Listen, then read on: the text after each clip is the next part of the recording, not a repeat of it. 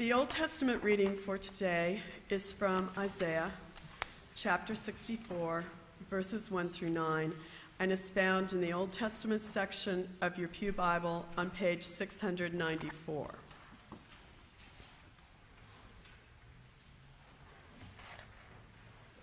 Listen.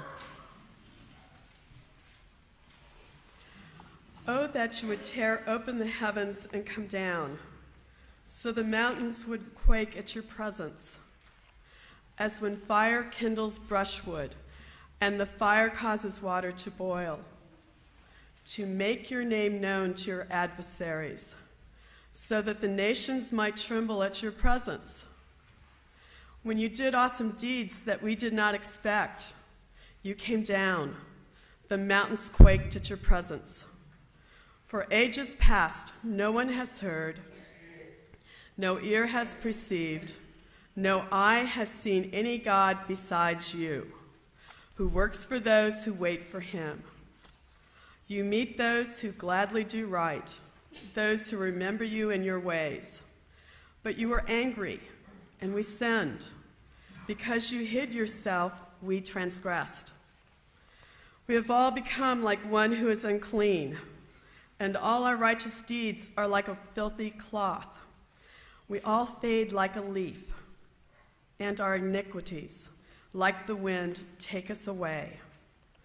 There is no one who calls on your name or attempts to take hold of you, for you have hidden your face from us and have delivered us into the hands of our iniquity. Yet, O Lord, you are our Father. We are the clay and you are our potter. We are all the work of your hand. Do not be exceedingly angry, O Lord, and do not remember iniquity forever.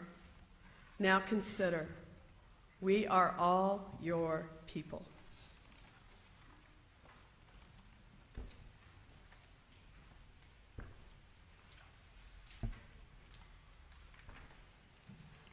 The New Testament reading today is from 1 Corinthians chapter 1 verses 3 through 9 in the New Testament section on page 166.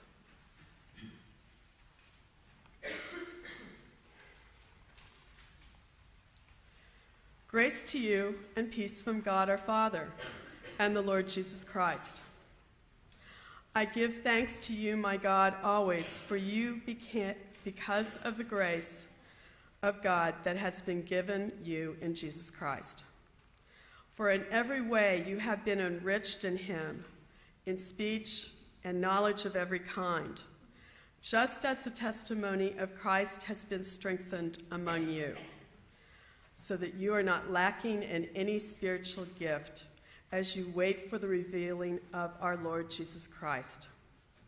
He will also strengthen you to the end so that you may be blameless on the day of our Lord Jesus Christ. God is faithful. By him you were called into the fellowship of his Son, Jesus Christ our Lord. The word of the Lord. Thanks be to God.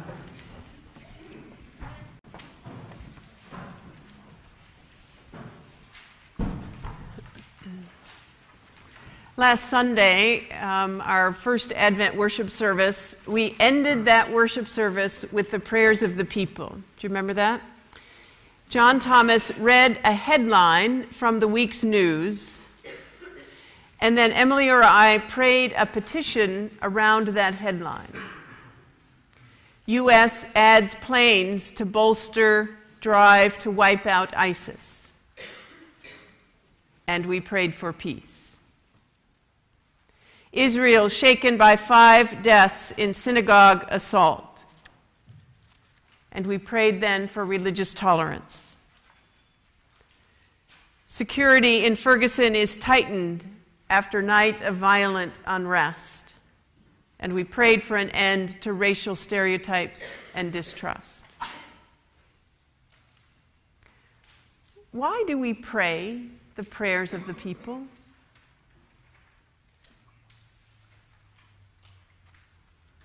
Why do you pray for others?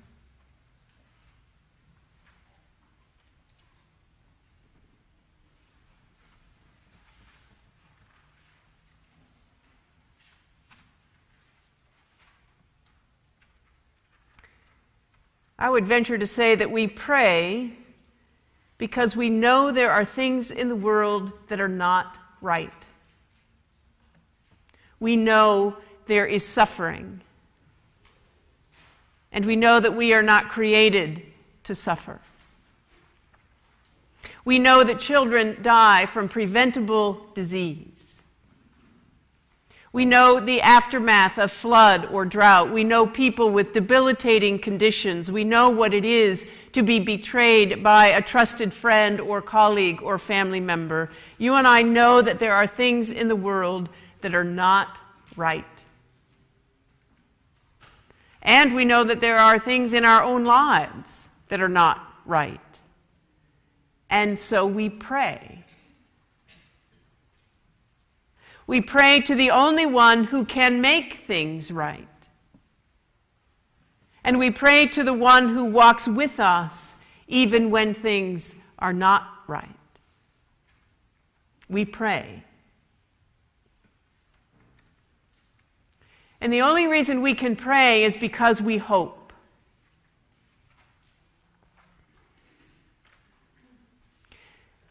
We know that things are not right with the world. We know that things are not right with ourselves because we have a vision for how life can be, right? We have a vision for how our lives can be. And that is a vision that's fed not by consumer ads, it's not fed by pie in the sky optimism. Ours is a vision fueled by the biblical story and fueled by our own experience of God. We believe in a God who makes all things new. And you and I have experienced that newness at some point in our lives. Or we have seen something new being made in the world. We've seen and witnessed transformation. We believe in a God who makes all things new. The season of Advent reminds you and me that we are people of God's future. It's not a future of our making, it is a future of God's making. And it is a future in which there will be a new heaven and a new earth. Not just a polished up old one, but a brand new one. And the scriptural texts for Advent point us to the God who is bringing about that future. So, Advent is a forward looking time, but it's also a backward looking time. In today's reading from Isaiah, we encounter a passionate prayer for God to come and reveal the power and strength and goodness that the people had known in years past. Isaiah prays fervently Oh, that you would tear open the heavens and come down And with that prayer, Isaiah reminds both God and the people of Israel about their history together. God is in charge of the world, Isaiah proclaims, and Isaiah does not want the people to forget about God's sovereignty. And at the same time, Isaiah does not want God to forget about the people who need God's sovereignty. It's about their journey together. Isaiah is reminding them both. God is and has been faithful. That's why we hope. That's the only basis we have for hoping about the future because God is and has been faithful in the past. That's why you and I have a vision for life, have a vision for situations. That's why you and I have a vision for institutions that are different than the ones that we know now because we know the God who is making all things new. There is some unrest with how things are in the world. We are discomfited, so to speak. We are cha- we chafe at the way things are because we know how things can be. So what newness do you yearn for?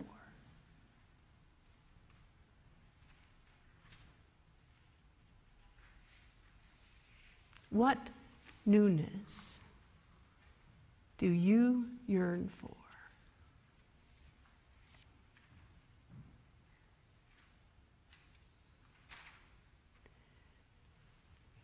people tell me that they don't like change. And I understand that. Believe me, I do. There is great comfort and ease in the known and in the familiar. And change actually is all about grief. And very few of us would choose to grieve if we didn't need to. A friend of mine, Jim Brown, many, many years ago when I worked at the General Assembly and he was the executive director, shared this definition of transition, which I know you've heard before. I'm sure I've used it before. Transition is Linus with his blanket in the dryer.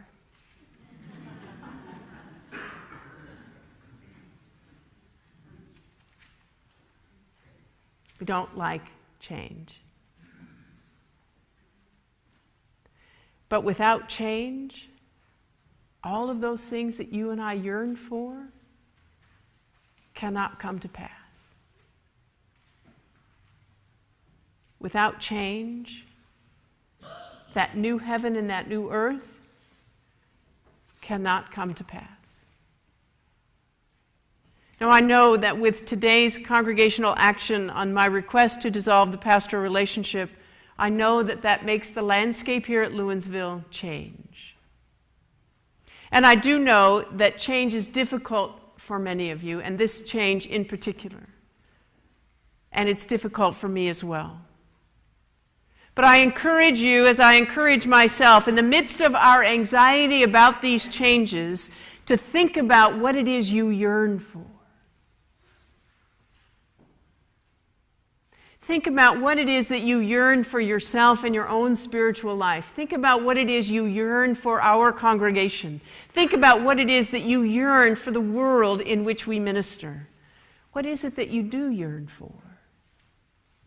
If you could pray, Oh Lord, that you would tear open the heavens and come down and fix just this one thing, what would that one thing be? What do you yearn for?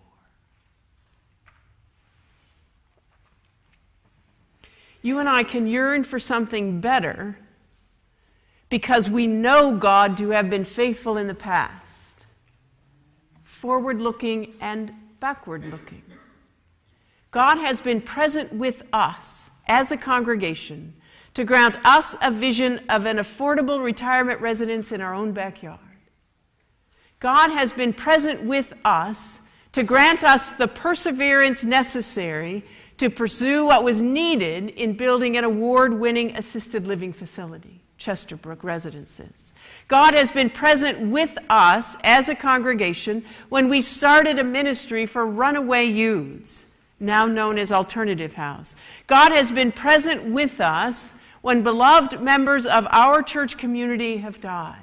God has been with us and present when newcomers come through these doors and we are blessed by their gifts and their skills and new friendships are formed. God has been present and faithful. God has been present and faithful as our children. Generations of children have learned Bible stories as they have grown in their own discipleship of faith and they know that they are an integral part of our community. God has been present with us in the past. And because we trust God's faithfulness, we do believe in an alternative future. We do have hope.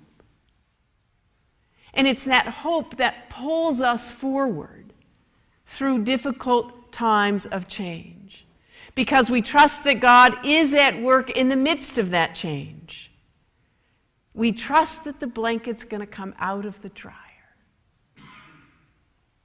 We trust that God is at work to bring about the only future that God can bring. So, Advent is the season of the church year that opens you and me up to the need for God to break into our lives for God to break into the life of our congregation, to, for God to break into the life of our community and our world. And Advent affords you and me the opportunity just to reflect and stop and think and realize how God interacts with humankind every day. That God is active right now, bringing about that new heaven and that new earth. You see, Advent is more than a time to hear God's promises about, to hear promises about God. Advent is a season of attentiveness to the presence of God already active among us. And the bread and the wine of this table are those tangible and tasty reminders that God is among us to bring about that for which we yearn. At this table, we remember.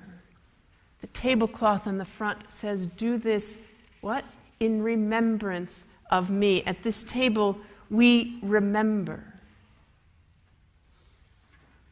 The same God who is present in Jesus Christ, in bread and in wine, has been and is present in our lives and in the life of our congregation. And that remembrance becomes then the foundation on which you and I stand, yearning forward in hope. Every time you and I are aware of God's presence today, that awareness strengthens our hope for the future that God is bringing about.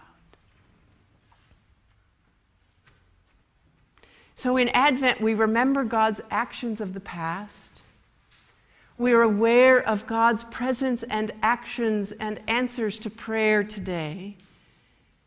And we yearn and we watch in hope and in faith. So, what is it that you yearn for? Watch for it. Wait for it. Come, taste and see. The Lord is good.